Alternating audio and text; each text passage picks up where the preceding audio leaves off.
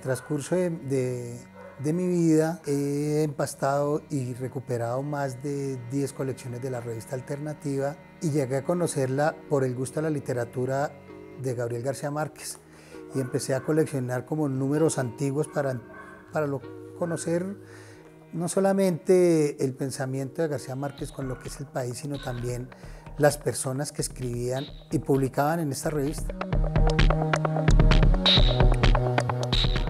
Pues, no había muchas revistas que hablaran sobre, sobre temas del, del Estado, ni del gobierno, ni pues, eran temas muy, muy vetados y la revista alternativa me parecía que era una, una buena fuente de información y así me fui haciendo una colección que ya la tengo hace más de, de 20 años de, de, la revista alternativa. No sé si está completa, pero sí le, siempre que miro la, el contexto actual del país y, y miro la, revista, pues no está muy alejada de lo que es la represión y, y las formas de ver el país.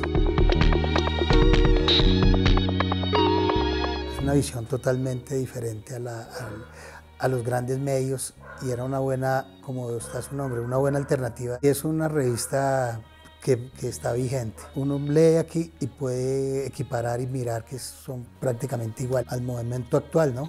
No creo que salga una revista con esas características.